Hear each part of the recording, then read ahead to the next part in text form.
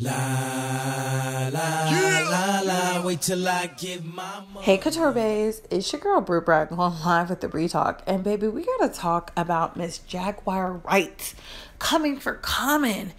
Oh my goodness, y'all, it's messy. Now, before we get into that, let's like, comment, and subscribe. Tap that notification bell so you can get all the updates and alerts. And remember, opinions are not facts.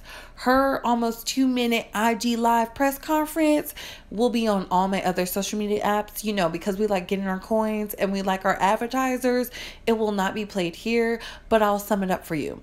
She stated that Common was giving her a Me Too moment. I'll let y'all sit on that. Yes, this fine common, this specimen right here, uh, it's always the fine ones. Now, some of you are like, well, why do you believe her? Because she's been very vocal about the things going on in Hollywood and in the music industry. She has not you know, shied away from her disdain with several people, including Erykah Badu, for those that know, on Mama's Gun, Erykah wrote a nasty, nice song about her, and nobody even knew. They thought it was about Andre 3000. Son, it was about your girl right here. Now, Miss Jaguar has vocals, she has pipes. Like the girl's first album was everything, but she said she wasn't getting paid you know, she ran into that issue like many other artists do. They don't read those contracts because they're friends with these people. They don't look at it and then they get shitted out of their deal.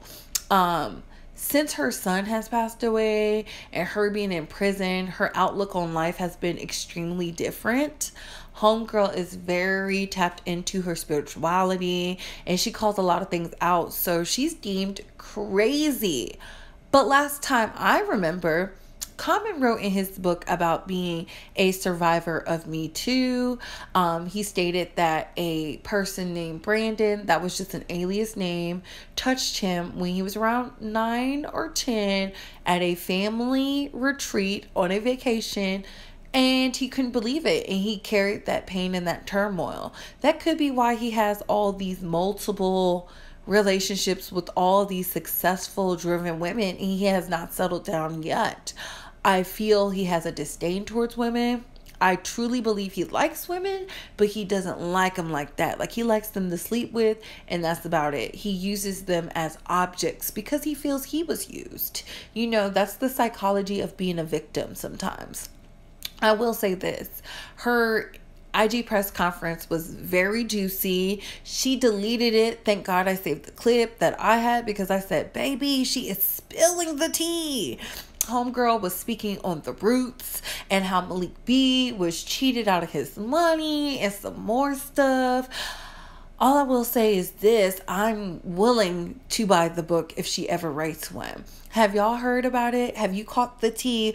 What are your thoughts? Comment down below and I gotta go. Bye, hoes.